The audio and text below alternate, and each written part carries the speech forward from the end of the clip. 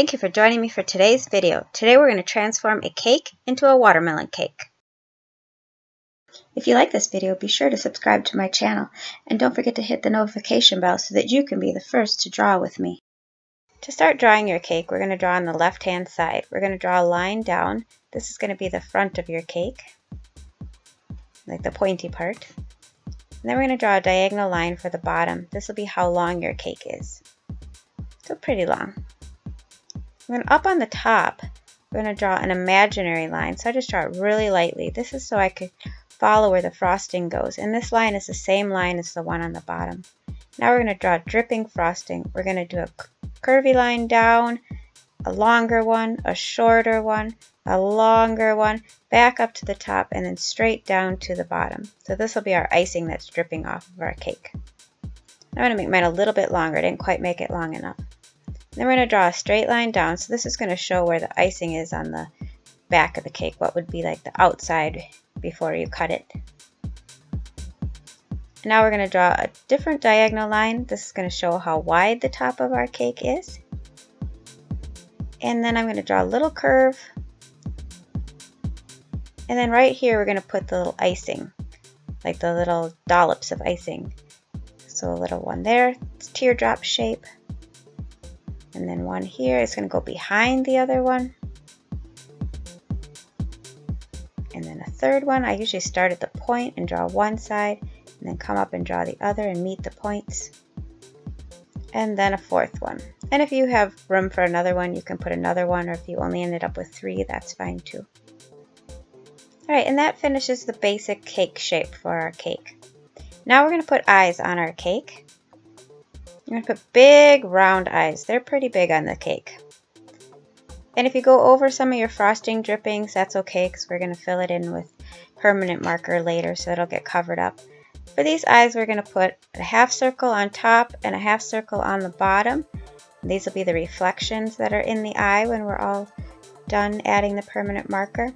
And then for the mouth, we're going to do a cute little curve with a loop, and that's going to make it look like his tongue is sticking out.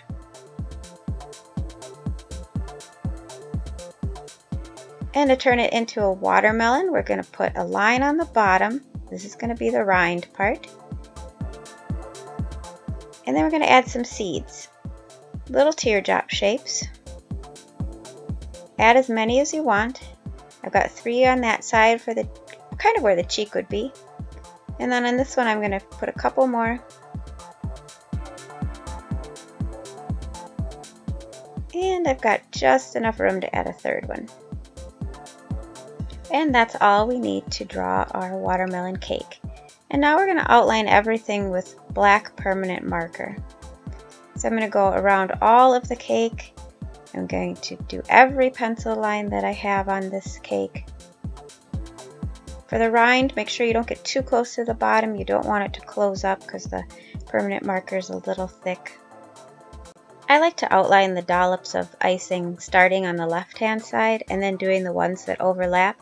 That way when I draw my permanent marker line, it gets rid of the harsh little edges on the um, edges of each of the icing dollops. Remember to stop the um, dripping of icing when you're tracing it so you don't go through the eye with that line.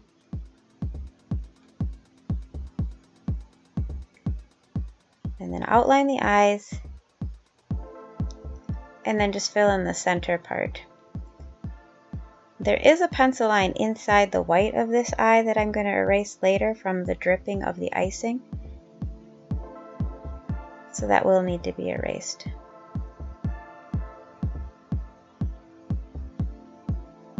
For the little mouth, you got to be really careful when you outline the tongue because it can get closed up if you go too fast and don't pay attention to what you're doing because it is so tiny and the permanent marker is a little thick.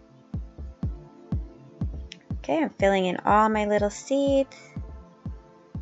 And there we go. Now it's time to start, or oh, before we color, we're going to do a little erasing.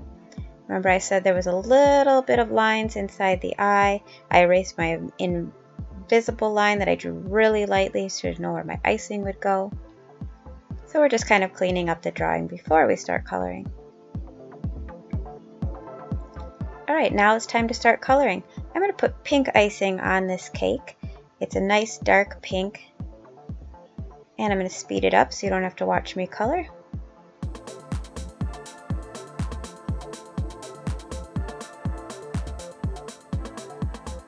Or you can make it this part any color you want. This isn't really a watermelon color. And a little pink on his tongue.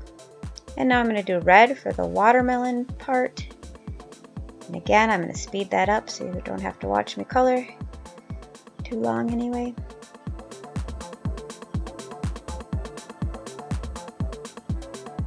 And you can go right over the black seeds. The permanent marker won't smear, so you can go right on top of them and the red doesn't make it um, change. And a little green on the bottom for the rind. And then for my little dollops, I chose a light pink, and again, you can choose any color you want for that part.